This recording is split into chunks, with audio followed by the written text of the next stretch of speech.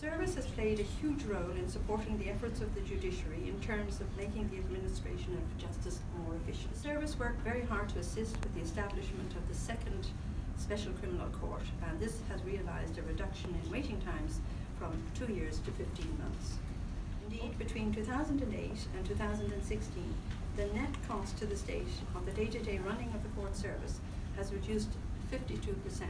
There are several areas we need to address in protecting the right of a fair trial of an individual in the era of social media.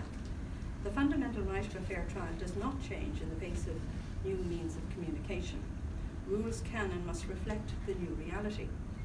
First, we need to consider draft guidelines regarding the who, when and what of using social media in the courtroom. We need to look at a legal reform to take cognizance of the new reality of instant communication. A court must have available to it effective and proportionate enforcement sanctions in the event of non-compliance of its orders. And in the Fines Act, proportionality is provided by the introduction of new enforcement provisions. Imprisonment is now the matter of last resort.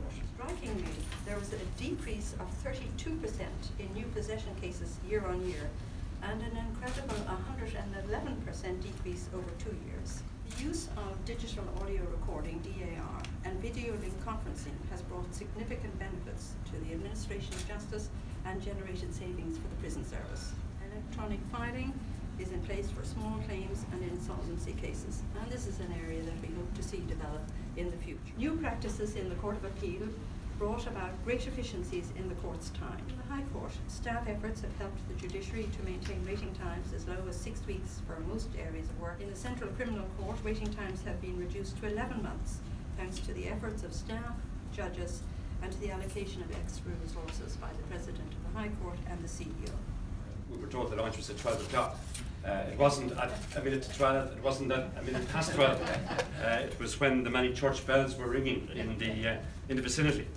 Uh, and I think it's in keeping uh, with what we have come to expect from the court service in terms of the delivery uh, of a most professional service. I can say with some probability or perhaps with some certainty uh, that maybe it's the last occasion uh, upon which Chief Justice Denham uh, will be presenting the court service annual report to the Minister as the Chief Justice.